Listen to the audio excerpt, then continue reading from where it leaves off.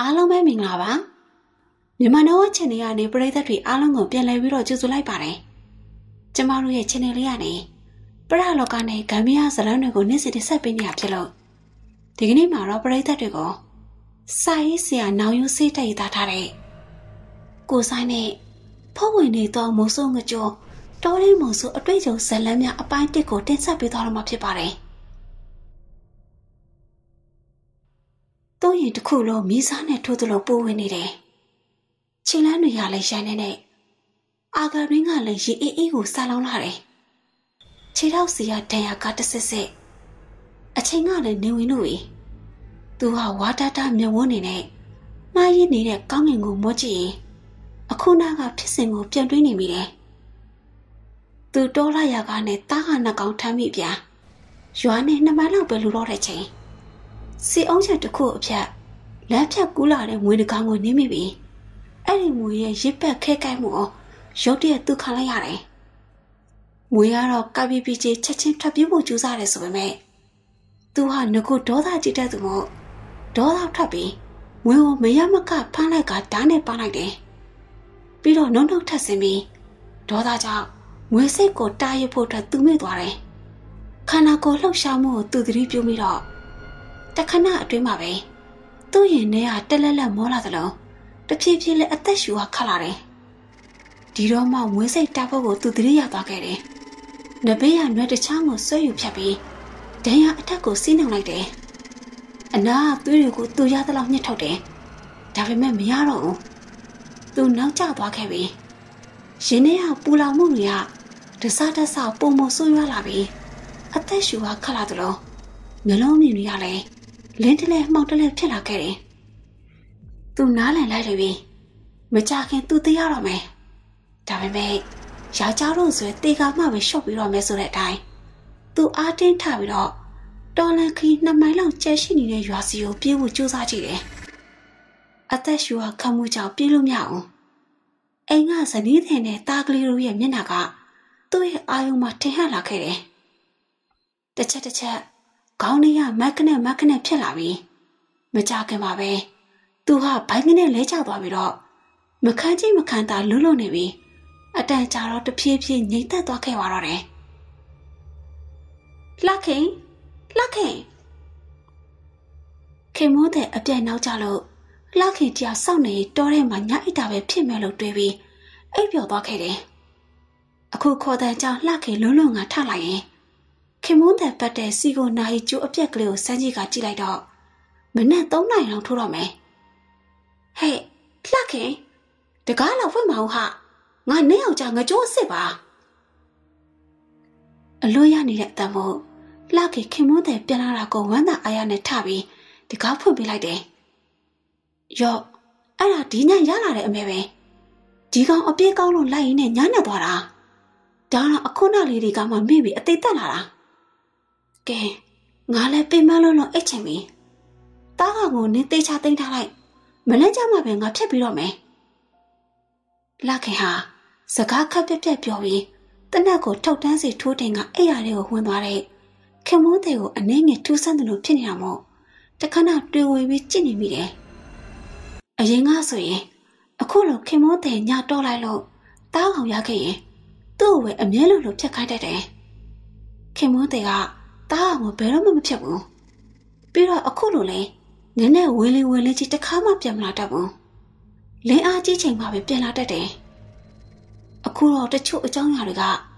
တမူထူးခြားနေပါရောလားอืมကိုကျူထူးတော့ထူးဆန်းနေတယ်အေးလေငါစိတ်ထင်တာပဲနေပါပါလာခင်ကိုဝတာကိုတွေးပြီးကျဲမြင့်စီကတားကောင်ကိုကောက်မယူလိုက်တော့ ဟမ်ကိုကျိုးပြောတော့အခုနလေးတင်ကမှရတဲ့တားအောင်ဆိုပြီးအခုကြီးကတောင်းတောင်ကြီးဖြစ်နေပါလားမိုးဆိုးမရလက်ဆိုတော့အထီးတွေ့ရလဲသိတာလာတယ်တားအောင်ဆိုတာတေဆုံးပြီး၃လနာရီတည်းဘယ်တော့မှအေးဆက်တောက်တင်မသွားတတ်ဘူးအခုတော့ကြီးကအေးဆက်ရုံတင်မကတောက်တင်းနေပြီကိုကျိုးကတော့ဘာတွေဖြစ်လာလဲမသိပါဘူးစကားတွေကလည်းပောက်ကရကြီးပြောနေတယ်။ဒါလေ ငါကနေယောက်ျားငကြိုးအစ်စ်ပါဆိုပဲမသိရင်ငကြိုးကအတုရှိတာကြောက်လို့လှခင်ခတ်တူးတူးလေးပြောပြီးတော့အဲ့ချင်းစိတ်ကရှိသေးတာမို့ကြီးကောင်ကိုပြတောင်းကြီးထည့်ပြီးအုပ်အုပ်အဖြစ်စပွဲခုံငယ်တစ်လုံးကိုဖိကအပေါ်ကအလေးထပ်ပြီးထားလိုက်တယ်အဲ့လိုမထားရင်အင်္ဂါတစ်ဖက်လက်မြင်ဆိုင်တယ်ဆိုတော့ခွဲရရမထင်မထင်သလိုဝင်ဆွဲယူသွားတတ်တယ်ဒီလိုနဲ့လှခင်အဲ့ရတဲ့ဝင်ပြီးခင်မိုးတဲ့ငကြိုးကိုကြည့်လိုက်တော့ ငကြိုးကကလေးတွေချားမှာနင်းနေချာချာအိပ်ပျော်နေခဲ့ပြီအဲ့ဒီပုံကလည်းဆက်ဆက်ကြီးနဲ့မသိရင်လူသေးကြီးတာမယ်။အိုးငါဘာတွေတွေးနေမိတာပါလဲ။ဒါနဲ့ဝဲရောက်လာတဲ့ပောက်ကရအတွေးတွေကိုပျောက်ပြတ်သွားစေဖို့လှခင်ခေါင်းကိုတွင်နေခိုင်းလိုက်ပြီးခေါင်းထက်စီကိုခေါင်းချလိုက်ပြီးနောက်မကြခင်အချိန်တွင်လှခင်လည်းအိပ်ပျော်သွားခဲ့ပါတော့တယ်။ကျွန်တော်နဲ့ဆိုလီတို့ 2002ခုနှစ်ရဲ့လအပိုင်းခြားတစ်ခုမှာကောသားမျိုးစီကိုခီးရှိတစ်ခုအားချင်းထောက်ဖို့အကြောင်းဖန်လာခဲ့တယ်။အကြောင်းကတော့မိတ်ဆွေထောင်မှုတယောက်ကတဝဲကိုအပြောင်းရှိပါတယ်။ဒီအတွက်ကျွန်တော်က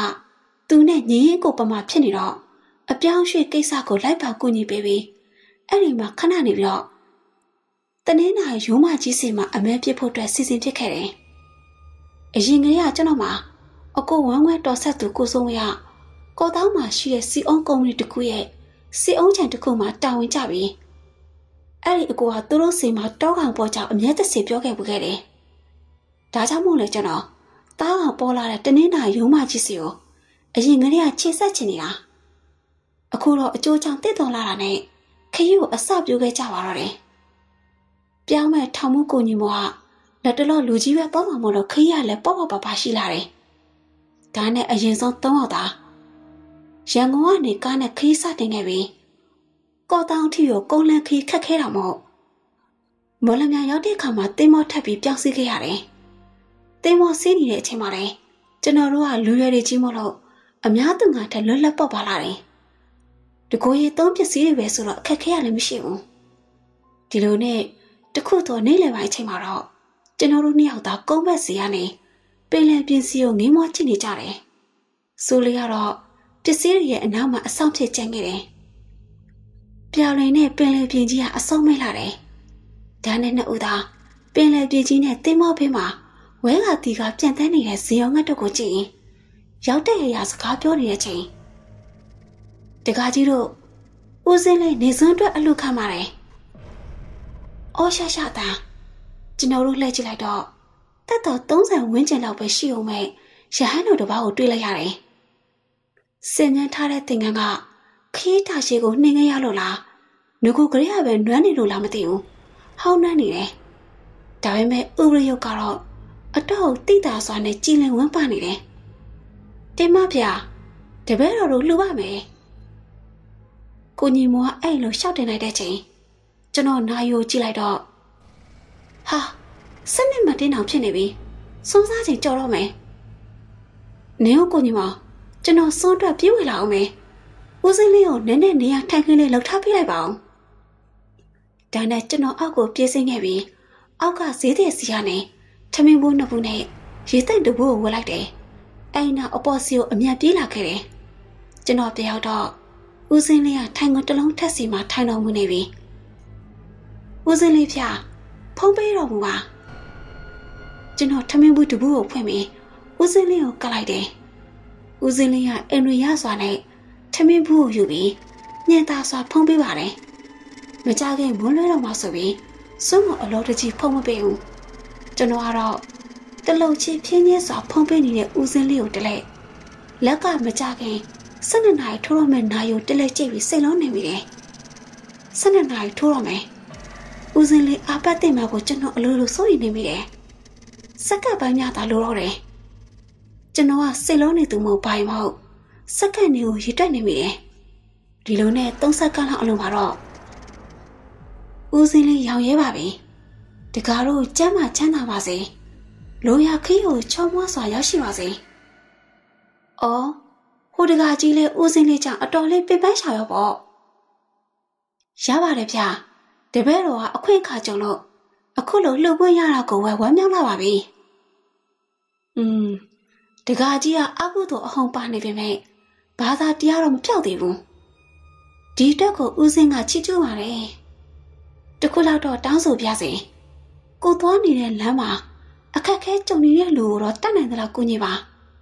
တကားကြီးကိုဦးစင်းလေးအဆောင်တစ်ခုပေးခဲ့မယ်ဦးစင်းလေးကသူလွယ်ထားတဲ့တင်ငန်းရောင်လွယ်အဲ့လေးတဲ့ကိုလက်နက်လိုက်ပြီးပြန်ထုတ်လိုက်တော့အနက်ရောင်ကြောက်တလုံးကိုငေါကွင်းကထားတဲ့ဝင်လက်စွပ်တကွင်းပါလာခဲ့တယ်။ ရော့တကားကြီးဒီလက်စွပ်လေးကဦးစင်းရဲ့ဆရာတော်ကချင်းမြင့်ခဲ့တာပဲ။နည်းနည်းရတော့မဟုတ်ပေဘူးတကားကြီးရဲ့တိမ်ဝင်ထားတယ်။ဦးစင်းရဲ့ဆရာတော်တင်ထက်တိုင်းအချင်းချင်းပါဝင်ခဲ့သလိုဦးစင်းနဲ့လည်းငါးချိန်တီတီတင်ထက်ပြီးပါပြီ။လောကကြီးရနဲ့ကြည့်တော့ငွေနဲ့လှုပ်ထားတာမျိုးတန်ကြီးနေတယ်ဆိုပေမဲ့လောကုတ်တရားဘက်ကကြည့်မယ်ဆိုရင်တော့တန်ဖိုးတိတ်ကြီးပါတယ်လေကံအကြောင်းမလားလို့ အခက်ခဲနဲ့အတိုက်ခတ်တွေကြုံရတဲ့အခါကျရင်တော့ဒီလက်စုံလေးနဲ့ညာဆန်းရှိသလိုအသုံးချကြည့်ဦးစင်းတစ်ခုထပ်မှလို့တာကတော့ဒီလက်စုပ်ကလေးကိုဆွတ်ပြီးတဲ့အချိန်တကားဟာကံငါးပါးကိုစောင့်နေမှာတကယ်လို့ကံအကြောင်းကြောင့်ကြောင့်မဖြစ်မနေကံတစ်ပါးကိုကျွလွန်နေဖြစ်တယ်ဆိုရင်တော့ကျန်တဲ့ကံလေးပါးကိုရအောင်စောင့်ထိမှာတကားတိမ်မဖျားတပည့်တော်စောင့်ထိမှာမယ်တပည့်တော်အခုလိုအဆောင်လေးချင်းမြင်ပြီးတာ တကယ်ကိုဝမ်းသာပီတိဖြစ်ရပါတယ်ဖျားကဲကဲတကားကြီးဦးစင်းလေးလဲဈဉ္ညာရှောက်အောင်မယ်ဦးပစင်းလေးကကျွန်တော်တို့ရဲ့အနားကနေလှည့်ထွက်သွားခဲ့တယ်ကျွန်တော်ကတော့ဦးပစင်းလေးစွတ်ပြစ်ထားခဲ့တဲ့လက်စွပ်ကလေးကိုတယူတသေးကပြီးလက်မှာစွတ်ကြည့်လိုက်တော့ကအားလို့ဆိုနေပဲလက်စွပ်နဲ့လက်တကြွယ်လေးကအန်ကတ်ဖြစ်နေတယ်အဲ့နောက်မှာတော့ကျွန်တော်တို့တဝဲဒေသကိုရောက်လာခဲ့လိမ့်ပြီပင်လေဒေသ မောက်တုံဒေသပင်မို့ရာသီဥတုကစုံနွေးနွေးပူဆက်ဆက်နေထိုင်ရင်ကတော့ကိုကြီးမောအပြောင်းကျတဲ့ထောင်ကစီစဉ်ပေးတဲ့ထောင်ဝင်းပြင်ပအင်္ဂလိပ်မှာနေရတယ်ထောင်ဝင်းပြင်ပမှာတေးချနေရတာမို့လို့အဆင်ပြေလာတယ်ဒါနဲ့မနဲ့မိုးလင်းတဲ့ခါမှာတော့ကိုကြီးမောကအစောကလေးကထောင်ထဲကိုသွားတယ်စိုးလေးကလည်းသူ့မိတ်ဆွေတယောက်စီလက်ဆောင်သွားပေးတယ်ကျွန်တော်တော့ညနေမှပဲပြန်လာမယ်လို့ပြောသွားတယ်ဒီအတွက်ကျွန်တော်ကအင်္ဂလိပ်မှာတယောက်တည်းကျင်းခဲ့တယ် အိမ်နဘေးပတ်ဝန်းကျင်ကအလှပတွေကမြမအဖြစ်အထက်ပိုင်းနဲ့ရန်ကုန်လောက်မှာပဲနေထိုင်မှုခဲ့တဲ့ကျွန်တော်ဘွားတော့အသစ်တလည်းဖြစ်နေတယ်တယောက်တည်းချန်လေးနဲ့လမ်းလျှောက်လိုက်ညောင်းလိုက်ရင်ခုံကလေးထပ်မှထိုင်ပြီးစားဖက်လိုက်နဲ့အချိန်ကွာစောင့်စားနေပါတော့တယ်နေ့လေတနားရဲ့ဝင်းကျင်လောက်မှာတော့ကိုညီမောပြောင်းလာခဲ့တယ်သူနဲ့အတူ90ထမင်းကြတလုံးပါလာပြီထဝင်းထဲကဆန်စီကဝယ်လာခဲ့တယ်လို့ပြောတယ် ဟင်းကငါးကြော်နဲ့နဲ့ပင်လဲစားတချို့ဒါနဲ့နှစ်ယောက်သားစားနေကြပြီမို့ထမင်းကိုအမြန်စားလိုက်ကြပြီကိုညီမောကစလိတ်တောက်တတ်သူဆိုတော့စစ်ကရက်ကိုဖွာရင်ခုံကလေးတွေထပ်မှနှစ်ယောက်သားထိုင်နေကြတယ်ဒါနဲ့နှစ်ယောက်သားစကားကောင်းကောင်းပြောဆိုဖြစ်ကြတယ်ကဲကိုဆိုင်ဒီမနေ့ကျုပ်ထောင်ပိုင်းနဲ့ဝင်တွေ့လာတာကိုဆိုင်တဲ့သတင်းကောင်းပါလာလေရဲ့ကိုညီမောကမိထီလာသားဆိုတော့ စကားပြောရင်အများအဖြစ်ကျုပ်လိုပဲသုံးလုံးတတ်တယ်။ဘာများလဲကိုညီရဲ့လှောက်စမ်းမအောင်။อืมဒီလိုဗျ။ကျုပ်နေလေရထောင်မိုင်းနဲ့တွေ့ရတော့ထောင်မိုင်းကပြောတယ်။ဒီကနေ15မိုင်လောက်ဝေးတဲ့ခင်နှဲရွာနာမှာအစိုးရဧကတရားစီအောင်ချင်ရှိတယ်တဲ့။ကျုပ်အဲ့ဒီကိုတပတ်ကစကန်သွားထိုင်ရမယ်။လေးလလောက်ကြာမယ်ဆိုတော့ထောင်ဝင်တန်းတွေရဲ့ပြောဆိုချက်ရဆိုရင်အဲ့ဒီနေရာကအမဲသိပ်ပေါ်တယ်တဲ့ တောဝက်တွေဆိုရင်ကွင်းထဲမှာစောင့်ပြေအောင်ပဲကိုစားရည်ပြီးတော့ရဲဘက်အင်အားကလည်း200ကျော်ရှိတယ်တဲ့ဗျဟာဒါဆိုရင်တော့ကိုညီမော်နဲ့ကျွန်တော်တို့တိတ်ကောင်းတဲ့အစိုးရတာဝန်ပေးချက်ပေါ့ဒီလိုနဲ့နေ့လယ်2နာရီလောက်မှာတော့နှစ်ယောက်သားတေးအိတ်လိုက်ကြပြီကိုညီမော်ကစခန်းထိုင်ရမှာမို့ထောင်တွင်းမှာအလုံးမရှိထောင်မိုးကလည်းအနားပေးထားတာမို့ဒီအတွက်အားပြည့်အိမ်ပြည့်အနားယူလိုက်ကြတယ် ညနေဆောင်တော့ဆိုးလေးကပြန်ရောက်လာခဲ့တယ်သူ့ရဲ့မိတ်ဆွေပြန်ထည့်ပေးလိုက်တဲ့ပင်လယ်ထွက်လက်ဆောင်တချို့လည်းပါလာခဲ့တယ်ဒါနဲ့ကျွန်တော်တို့ဆိုးလေးကိုအစီအစဉ်ပြောပြကြတယ်အဲ့နောက်ညနေဆောင်ကိုညီမနေလေကဝယ်ယူလာတဲ့ဆိုင်ကလေးစီခြိုင်သွားဖို့ရင်အဲ့ဒီဆိုင်မှာပဲစားတော့လိုက်ကြတယ်ညပိုင်းမှာတော့နေရဒေတာအစ်စ်ပင်မို့နေရတာပြေးဝယ်ကောင်းလာတာကြောင့်သုံးရသာကိုစီအိတ်ရဝင်ခဲ့ကြတယ်။နောက်တရက်မှာတော့ကျွန်တော်တို့ ခင်နှန်းရွာစခန်းကိုမနေ့အစောစားထွက်ခဲ့ကြတယ်။ထောင်ကတီတူးတော်စဲကားကလေးနဲ့တောင်ချီထိလဲပို့ပြီးတယ်။ကားခရီးက6မိုင်တာတာလောက်ရှိပြီးအဲ့ဒီကနေစခန်းရောက်တဲ့အထိကိုကားတောင်ပေါ်တော်လန်းကိုချီချင်းသွားရတယ်။တဲရမဲ့တောင်တွေကဘကိုးရုံးမလို့တောင်နေနေမဟုတ်ဘူး။ပေ3000ဝန်းကျင်တောင်စင်တောင်နှန်းတွေကျွန်တော်တို့နဲ့အတူတူထောင်ကလူရည်နေရဲဘက်10ရောက်လောက်ပါလာတော့ပစ္စည်းတွေကိုကျွန်တော်တို့ကတည်စရာမလိုရဲဘက်တွေကတည်ပြီးတယ်။ ကျွန်တော်တို့ကတော့တနက်နဲ့တကူရီသုံးပစ္စည်းအနည်းငယ်ကိုပဲတည်ရတယ်။တနက်ကိုတော့တောင်ပေါ်ရောက်ကြရလုံချုံကြီးအတွက်အသင့်ဖြစ်အောင်ကြည်ထိုးပြီးတောက်ပိတ်ထားရတယ်။အဲ့ဒီစကားစီကိုအခွင့်အရေးနဲ့ခါရဲဆိုရင်စင်အကျုံနဲ့လမ်းလို့ရတတ်တယ်လို့လည်းသိရတယ်။ဒါပေမဲ့ကျွန်တော်တို့ကတော့စင်အကျုံမရှိလို့ကိုကိုကိုအားကိုပြီးခြေချင်းရုံးကြရပါတယ်။ဒီလိုနဲ့လမ်းခီးမှာထွေထူးထူးကြုံကြိုက်မှုမရှိပဲနားလိုက်တော့လိုက်နဲ့ညနေ၄နာရီလောက်မှာတော့ ခေတန်းစခန်းကိုရောက်လာခဲ့တယ်။လူကလည်းပန်းစိတ်ကလည်းလားဒါတော့ကျွန်တော်တို့ကအလေးပင်တဲရတော့မဟုတ်သေးဘူး။အလေးပင်တဲရရှာတဲ့ရဲဘက်တို့ဆိုရင်ပြောဖို့ရတော့ရှိမှမထင်။မော်ဆိုးချေပင်နွမ်းရလေတဲ့တနင်းနိုင်တောင်တန်းတွေရဲ့အထီးတွေတွေကတကယ်ကိုမှတ်ကြောက်တင်နေတယ်။ဒါနဲ့ညနေစာကိုကျွန်တော်တို့ရောက်ပြီးမကြခင်ပါပဲ။ဖိုးကြီးစားဆောင်မှာအသိပြေပြီးကြောင်းရဲဘက်တယောက်ကသတင်းလာပို့တော့ကျွန်တော်တို့သွားစားဖြစ်ကြတယ်။ ရဲခါငချကိုအာလူးနဲ့ရောချက်ထားပြီးမပြည့်တုံးစရာတွေကခရီးပန်းလာတဲ့ကျွန်တော်တို့အတွက်ကတော့နတ်တော့တာတများစားလို့ကောင်းလာတယ်။ထမင်းစားတော့ပြီးတဲ့ခါမှာတော့ကိုညီမောကစင်းစရာတွေကိုလွှဲပြောင်းလက်ခံမှုထွက်သွားခဲ့တယ်။ကိုညီမောထွက်သွားပြီးတအောင်လောက်ကြတော့ရဲဘက်တယောက်ကျွန်တော်တို့စီကိုရောက်လာခဲ့တယ်။ကိုညီမောကထည့်ပေးလိုက်ကြောင်ပြောပြီးတက်မတော်အာမီနာတလုံးနဲ့ငှက်ကြော်တပကလာပေးတယ်။ ကျွန်တော်တို့ကိုလည်းအညာပြည့်အညာပြည့်တောက်ဖို့နဲ့သူကတော့စင်းလွှဲပြောင်းမှုကိုညနေမှသာပြီးမယ်ဆိုပြီးမှားလိုက်တယ်။ဒီအတွက်ကျွန်တော်နဲ့ဆိုလို့တော့ကိုညီမောရဲ့အလာကိုမစောင့်တော့ပဲအာမီရန်နဲ့ငှက်ကြော်မြည်ပြီးရေချင်းကြိုက်လာတော့အဲ့ရစီဝင်ကစက်တော်ခေါ်ခဲ့ကြပါတော့တယ်။ဒီလိုနဲ့ကျွန်တော်တို့ခိနန်းစခန်းမှာနေတာ3ရက်လောက်ရှိပြီ။အဲ့ဒီအတော်တွေကျွန်တော်နဲ့ဆိုလီယာဧည့်သည်တွေဆိုတော့ဘလုံးမရှိအကမရှိအားရနေကြတယ်။ ဒါပေမဲ့ရဲဘက်တွေကတော့မစားတာလောက်အောင်။နည်းနည်းစောစောချိန်မိုးမလစ်ခင်ကလေးကလုပ်ငန်းခွင်ကိုစောင့်ဝင်ကြတယ်။အပြေးကြီးဆက်နေကြသူတွေဖြစ်ပြီးမကြခင်လုံးမြောက်တော့မဲ့သူတွေဆိုတော့အလုပ်လုပ်တဲ့ခါမှလည်းကြိုးစားပန်းစားလုပ်ကြတယ်။ထပ်ပြေးမှကိုလည်းစိတ်မပူကစိတ်ချစွာလှုပ်ထားလို့ရတယ်။စိုးလေးတောင်မှရဲဘက်တွေနဲ့အဖွဲကျနေပြီ။ကိုစားရီခမ ्या တို့လည်းပြင်းနေတော့ပြီ။ကျုပ်မှလည်းဗျာစခန်းကိုရောက်ကြရစင်းစရာနဲ့လူအိမ်အား ရိတ်ခါတွေလွှဲပြောင်းပြီးအသိပြန်တင်နေရတာနဲ့ပဲမအားချင်ဘူးဗျာ။ဒါပေမဲ့တပတ်ခါကြာရင်တော့ကိုဆိုင်တို့တောလေကိုစီစဉ်ပေးပါမယ်။ဟာမအားရင်မလုပ်ပါနဲ့ကိုညီမရဲ့ကျွန်တော်တို့ဆရာတပည့်တွေကလွတ်လွတ်တည်ကြီးပဲဘာမှနောက်ချောင်းပူစရာမလိုအေးစိတ်မောက်သွားကြမယ်အင်းလေအဲ့ဒါဆိုလဲဒီရပိုင်းကိုဆိုင်တို့ဒီအနီးနားကိုတောလရအောင်ကျော့စီရတောကျွမ်းနဲ့ရက်ဘက်နှစ်ယောက်လောက်စီစဉ်ပေးမယ်လေဟာ အဲ့ဒီလိုသာဆိုရင်တော့ကျေးဇူးတကယ်တင်မိတယ်ဗျဒါပေမဲ့ကိုကြီးကခမည်းအတွက်ဝင်ဖြစ်စေမယ်ဆိုရင်တော့ရဲဘက်မစီစဉ်ပေးနဲ့လုံအားရမယ်ကျွန်တော်တို့ဘာသာသွားလည်လို့လည်းရပါတယ်ဗျ။อืมကိုဆိုင်ပြောသလိုပဲကျုပ်တို့ကိုအထက်ကဒီတစ်ပတ်တွင်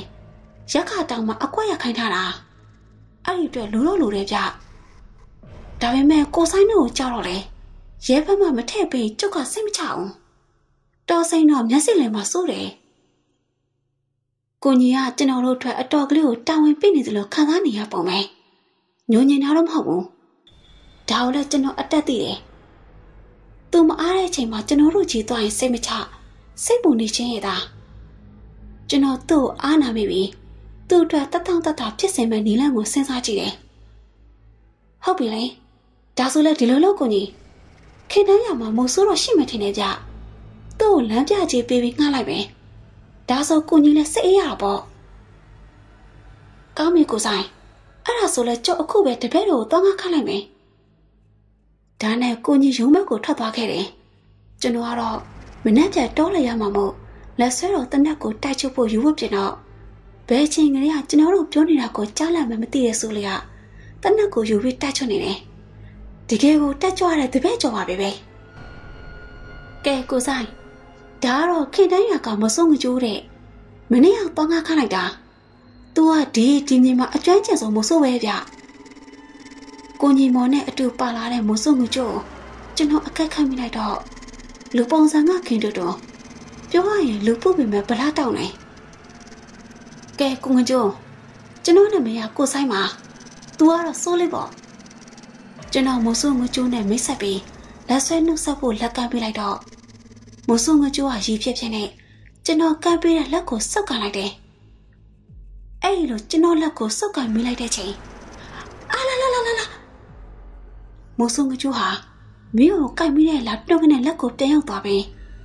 အလွန်နာကျင်သွားရင်လည်းရှုံ့မဲ့ပြီးလက်ကိုခါလိုက်ကြည့်လိုက်ဖြစ်နေတယ်အားလုံးကလည်းအဖြစ်ပြက်ကိုအားသိမ့်ကုန်ကြတယ်ကျွန်တော်ကတော့သူ့ကိုအားနာမိသွားပြီဟာဟိုဆော် sorry ပါဗျာကျွန်တော်လက်ကနေတခုခုစူးသွားတာထင်တယ်ဗျ အားနာလိုက်တာဗျာကျွန်တော်ပြောပြောဆိုဆိုသူ့ရဲ့နားကိုကပ်ပြီးဖဲကူဖို့ပြင်လိုက်တော့မဆုငကြိုးကအနောက်ကိုအလန့်တကြားနဲ့ဆုတ်သွားတယ်အဲ့နောက်မှာတော့ရည်ဖြစ်ဖြစ်နဲ့အာဟိုရရတယ်ဆရာလေးကျုပ်လက်ကမင်းနဲ့ထိုးသလိုပိုခနဲ့ရုတ်တရက်ခန်းစားလိုက်ရလို့ပါဗျသူ့စကားကြောင့်ကျွန်တော်ကိုလက်ကိုကိုပြန်ကြည့်လိုက်တယ်လက်မှာငွေလက်စုပ်ကလေးရလွယ်လို့ဘာဆိုဘာမှရှိမနေဘူးမစုံမကျိုးကတော့ ရတဲ့ဆရာလေးကြည့်နေနေတော့ကျုပ်ကတခါတလေအဲ့လိုဖြစ်တတ်တယ်ဗျဒီလိုနဲ့ကျွန်တော်သူ့အာနာစွာနဲ့ခေါင်းကြီးပြလိုက်မိတယ်ကိုညီမောကတော့သူ့လက်ကနိုင်ကိုတစ်ချက်ကြည့်ပြီးကဲကိုဆိုင်ရင်ရှင်းနိုင်အောင်ထိုးတော့မယ်သွားမယ်ဆိုလဲစောစောသွားချီဗျဒီကနေပွင့်လေးပါပို့တယ်ပြီးတော့လေထဲမှာစားတဲ့နည်းနည်းပါတယ်ဗျအာဟုတ်တာပဲကိုကြီးကကဲကဲကဲသွားကြစို့အော် ဒါနဲ့ကိုငကြိုးကဘာလဲနဲ့မှမပါပါလားကျုပ်ကလက်နဲ့မသုံးဘူးဆရာသမားရဲ့ဟင်လက်နဲ့မသုံးဘူးဟုတ်လားဟုတ်တယ်ဗျလက်နဲ့မသုံးမဲဘလို့များသားအောင်ဖမ်းတယ်လဲအရင်ကတော့သုံးတယ်ဆိုတော့လေအခုကတော့မသုံးတော့ဘူးစိတ်ချပါကျုပ်ရဲ့ပညာကိုတော်ရကြရင်ဆရာသမားမြင်သာပါလိမ့်မယ်ဒီနာတဝိုက်ကတော့ကျုပ်เจ้าကိုသိနေလို့တပွဲစားလူတော်တမုတ်နေကြတယ်ဗျ အော်ကျွန်တော်သူ့အော်တလုံးမဲ့တောက်ပြန်လိုက်မိတယ်စိတ်ထဲမှာတော့အတော့ထူးဆန်းတဲ့လူရဲလို့မှတ်ချက်ချလိုက်မိတယ်အဲဒီနောက်မှာတော့ကျွန်တော်တို့ဟာတော်ရဲစီကိုဝင်လာခဲ့ကြတယ်စခန်းရဲ့အနောက်ဘက်ရက်ကိုဥတီပြီးထွက်လာခဲ့ကြတယ်ဒါနဲ့တော်ရဲကိုအတန်ကြာသွားမိပြီးတောင်နှလုံးလုံးကြော်ချပြီးတားကောင်ကမတွေ့ရသေးဘူးတားကောင်ပေါ်တယ်ဆိုတဲ့တော့အခုတားကောင်တော့မတွေ့ရ ကျွန်တော်စိတ်လေချင်းတယ်လို့ဖြစ်လာတယ်။ဆိုးလေးကလည်းမျက်မှောင်ကြောက်ပြီးလိုက်လာတယ်။ဒါနဲ့နောက်ထပ်တောင်တလုံးကိုတက်ဖို့ပြင်လိုက်တဲ့အချိန်မှာမုံဆုံကကြိုကဆရာလေးတို့ကဘာကောင်ပြစ်မယ်လို့ရည်မှန်းထားသလဲ။음ကျွန်တော်ဝက်ပြစ်မယ်လို့တော့မှန်းထားတယ်ဗျ။စကန်းကရဲဘက်တွေကလည်းအခုတလောငါးကြီးစားနေရတော့ညင်းနေကြတာ။ဒါကြောင့်လောလောငန်းကဖြစ်အောင်ဝက်ပြစ်ချင်တာရဲ့။ဒါပေမဲ့အခုထိဘာကောင်မှလည်းမတွေ့ရသေးဘူးဗျ။음ကောင်းပြီလေ။ အဲ့ဒါဆိုလဲဆရာလေးတို့ပြစ်ချင်တဲ့အကောင်ပြစ်ရအောင်လို့ကြောက်လို့လိုက်အောင်ပဲဆရာလေးတို့ခဏဆောင်ကြအောင်မဆုံငကြိုးကပျော့ပျော့ဆော့ဆော့သူ့ခပိုက်ထောင်ထဲကကွန်းတရကိုထုတ်ပြွားလိုက်တယ်ပြီးတော့တပေးလောက်ကျဲတဲ့မြေပြောင်ပြောင်ကလေးစီကိုပွားပြီးကွန်းလေးကိုထွေးတယ်အဲ့နောက်မြေပြင်ကိုလက်ဝါးနဲ့ပုတ်ပြီးတွတ်တွတ်ရွရွနေတယ်အဲ့ဒီခါမှာဆိုလေကဆရာဆိုင် तू ကဘာလုပ်နေရလဲဗျငါလည်းမသိဘူး စောင့်ကြည့်ကြတာပေါ့ကျွန်တော်တို့အဲ့လိုတူတူပြောပြီးတအားလောက်ကြတော့မစုံမကျူးထလာခဲ့တယ်ကဲဆရာလေးရပြီကျုပ်တို့ဒီဘက်ကိုသွားကြစို့ခဏနေဆရာလေးပြစ်ချင်တဲ့အကောင်တွေဒီဘက်ကိုလာလိုက်မယ်မိုးဆိုးငကြိုးကအဲ့လိုပြောပြီးတော့မှရုတ်တရက်တောင်ဘက်ကိုချုံဝင်သွားတော့ကျွန်တော်တို့လည်းသူ့နောက်ကလောက်ဝင်လာခဲ့တယ်တိတ်မကြလိုက်ဘူးအရှိဘက်စီကတောတိုးတန်တွေကြားလာရတာမို့ ကျွန်တော်တို့တပ်ပင်တွေဘေးကပ်ပြီးအချင်းလေးကိုကြည့်လိုက်တော့ဟာတော့ဝဲဥပါလားကျွန်တော်တို့ရဲ့အရှိတဲ့တဲ့ကိုလာနေတာကအဆွဲကွင်းနေတဲ့ဝတ်တောင်းကြီးတကဥဆောင်တဲ့တော့ဝဲအုပ်ဆယ်ကောင်လောက်ရှိမယ်ကျွန်တော်အံ့ဩမှုနဲ့တူတူမဆိုးငကြိုးကိုကြည့်လိုက်တော့သူကကျွန်တော်ကိုကြည့်ပြီးဝတ်တွေကိုစိတ်ချယူပြီးပြစ်ဖို့လက်အချီဟန်နဲ့ပြောတယ်ဝတ်အုပ်ကမီတာ90လောက်ထိရောက်နေပြီ ကျွန်တော်လည်းမျက်နှာချင်းဆိုင်တက်ပင်မှာကွက်နေတဲ့စူးလေးကိုလှမ်းကြည့်ပြီးလက်နှစ်ချောင်းထောင်ပြလိုက်တယ်။တဘောကတော့ဒုတိယနေရာကဝက်ကိုပြစ်ဖို့ပြောလိုက်တာ။ဒါနဲ့ကျွန်တော်အရှိဆုံးကဝက်တောင်းကြီးကိုတနက်နဲ့ထိုးချင်လိုက်တယ်။ပြီးတော့စူးလေးကိုတစ်ချက်ကြည့်ပြီးခေါင်းချင်းပြပြီးနောက်မောင်ကလုတ်ကိုပြိုင်လို့ဆွဲချလိုက်တဲ့ခါမှာတော့တနက်တဲ့နှစ်ချက်စင်ထွက်ပေါ်လာပြီးဝါအောက်ကကစိကလာထွက်ပြေးကုန်ကြတယ်ကျွန်တော်တို့ရဲ့ပြစ်မှတ်ဖြစ်တဲ့ဝမ်းနှကောင်ကတော့သေယူသွေးနဲ့တရှူးတို့ပြေးပြီး ကျွန်တော်တို့ကွယ်နေတဲ့တစ်ပင်ကြီးစီကိုပြင်းဝင်အောင်မြင်တက်သွားခဲ့တယ်တော်သေးတော့ပေါ့ကျွန်တော်တို့ကဝက်ပစ်သားကြနေပြီမို့ပြစ်ခတ်ပြီးရတဲ့တစ်ပင်နောက်စီမှာအမြန်ဝင်ပုံကွယ်လိုက်နိုင်လို့ဟာဆရာလေးတို့ရဲ့လက်တွေကိုတော့တကယ်ကြီးကျိုးတယ်ဗျာတိကျချက်ပဲမိုးစုံငကြိုးကကျွန်တော်တို့ကိုလက်ခုပ်တီးကချီကျူးတယ်ပြီးတော့လဲကျနေတဲ့ဝက်နှကောင်စီကိုသွားပြီးတော့လဲမျိုးကိုဓာတ်နဲ့လေးလိုက်ပြီးသူ့စီမှာပါလာတဲ့ဝစ်စစ်ဘူးကလေးနဲ့ခံလိုက်တယ် ဘယ်ဟုတ်ပါမလဲဗျာကိုငကြိုးကြောင့်တော့မဟုတ်ရင်ကျွန်တော်တို့အခုလိုပြစ်နိုင်မှာမဟုတ်ဘူးထားပါတော့လေဒါနဲ့ဆရာလေးတို့ကဒီလောက်ရရင်တော့ပြီလားอืมတော်ပြီဗျဒီလောက်ဆိုစခန်းအတွက်လည်းရိတ်ခါလာလောက်ပါပြီဒါဆိုလည်းပြန်ကြတာပေါ့ဒီကောင်တွေကိုတော့ဒီတိုင်းထားခဲ့လိုက်ချင်းမဆုံကချိုဟာသွေးခံနေတဲ့ဘူးကိုအဖုံးပိတ်ကပြန်သိရင်ပြောလာတော့ဟင်ဖြစ်ပါမလားဗျ တော်ကြတောဝင်တာတော့တခြားတောကောင်တော့ဆွဲသွားပါအောင်မယ်။အိုးရပါတယ်ဆရာလေးရဲ့ဒီတော့ဒီတောင်တစ်ခွဲမှာကျုပ်လက်နဲ့ထိဝေးတဲ့သားကောင်ကိုဘယ်သူမှမထိရကြအောင်။ဒီလိုနဲ့မစွန်းကကျိုးကအခိုင်အမာပြောပြီးစကမ်းဘက်ကိုပြန်ထွက်သွားတော့ကျွန်တော်တို့လည်းသူ့နောက်ကလိုက်လာခဲ့ကြတယ်။ထူးခြားတာတကူကတော့မစွန်းကကျိုးကကျွန်တော်သူ့နာအကက်မခံမဲ့ခောက်ခောက်ခွာနေတာကိုကျွန်တော်သတိထားမိလိုက်တယ်။စကမ်းကိုရောက်တော့ ရဲဘက်တချို့ကကျွန်တော်နှုတ်ဆက်တယ်။တားကောင်ရလာမေးကြတယ်။ကျွန်တော်ကရတယ်လို့ဖြေလိုက်တော့မင်းမို့ကြီးမှနေတဲ့ရဲဘက်မြင့်ကျော်ကဟာအဲ့ဒါဆိုလဲနေရလိုက်ပြချင်ကျွန်တော်တို့သွားတယ်မယ်ဆရာလေးလို့ပြောလာတယ်။ဒါကြောင့်ကျွန်တော်လည်းစူးလေးကို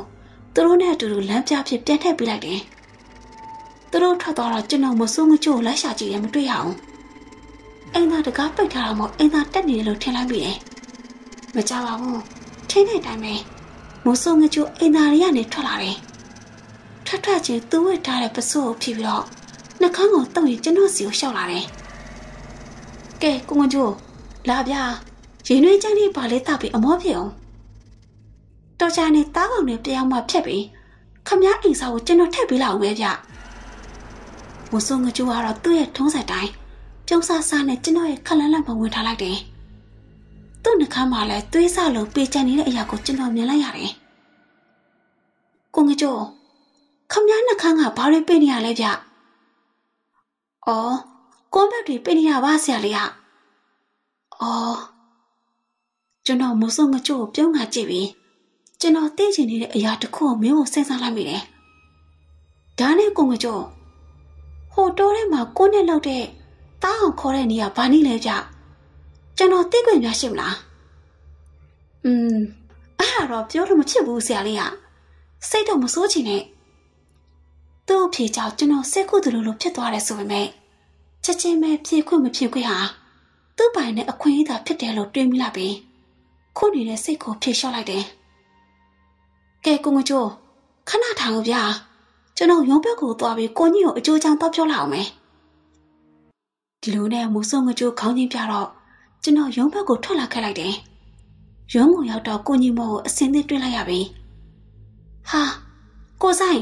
ပြန်ရောက်ပြီပေါ့။ဘယ်နဲ့လဲအစင်ပြေးရလား။ပြေပေါကိုညီကိုငကြိုးရဲ့ကျွမ်းကျင်မှုနဲ့တဝက်နှစ်ကောင်တော့ရခဲ့တယ်ဗျ